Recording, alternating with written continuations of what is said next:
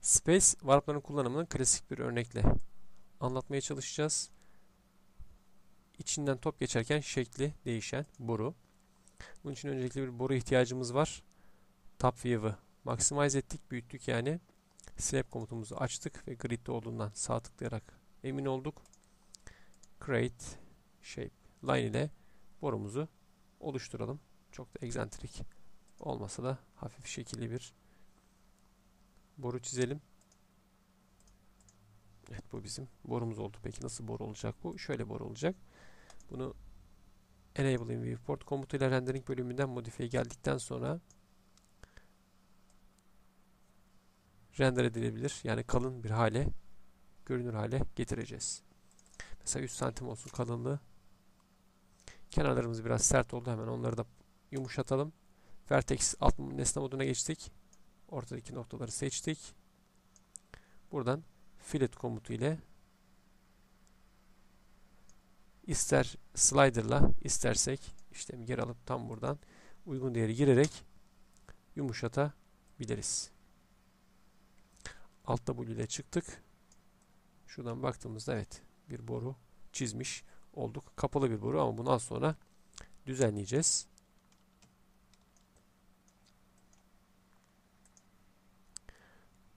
Line komutunu kapayalım. Enable in viewport açık.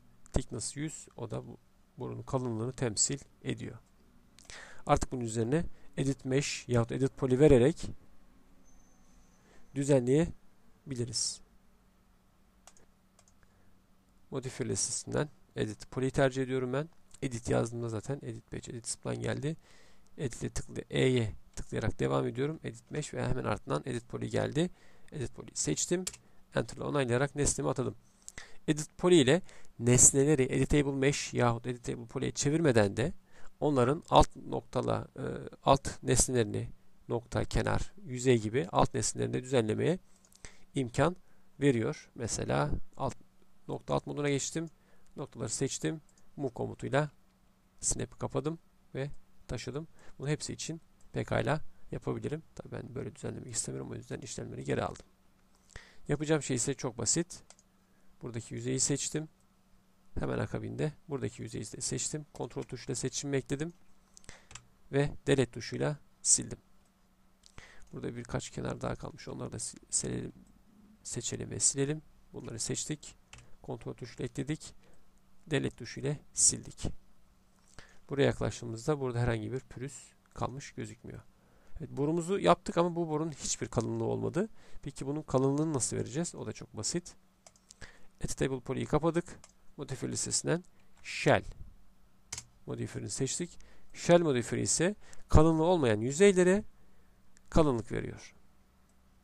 Bunu da çok basit bir şekilde yapıyor.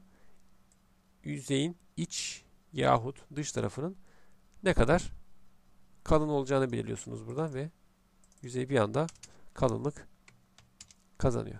Mesela 3 santim herhalde 3 santim kalınlık yeterli gibi. Böylece bir line'dan yola çıkarak gördüğünüz gibi tüm aşamalar da burada saklanıyor. Edit Poly ve Shell ile borumu modellemiş oldum. Senaryomuz gereği bir de top çizelim. Topumuz geosfer olsun. Yine snap tuşu ile snap komutu açıkken tam burada topumuzu oluşturalım. Tabii ki tercihen biraz buradan kalın olması lazım ki boruyu şişirdiğini anlayabilelim. Bu kalınlık fena değil gibi. Şöyle uzaktan biraz bakalım. Evet. Şimdi de space warp'ımızı oluşturalım. Space warp'lar nedir? Önceden modifier'ları görmüştük. Nesneleri bunlar. Nesne bazında eğip büküyorlardı. Space warp'lar ise modifier'larla aynı mantıkla çalışıyor. Yalnız bunlar uzayı yahut tüm nesneleri eğip bükme yetisine sahipler. Tek bir nesne değil. İstediğimiz nesnelere tabii ki tüm nesneler derken bütün nesnelere etki etmek zorunda değiller. İstediğimiz nesnelere etki eden özgür modifiyerler olarak tanımlayabiliriz. Space warp'ları create space warp altına ulaşıyoruz. Burada altında birçok türü var. Biz buradan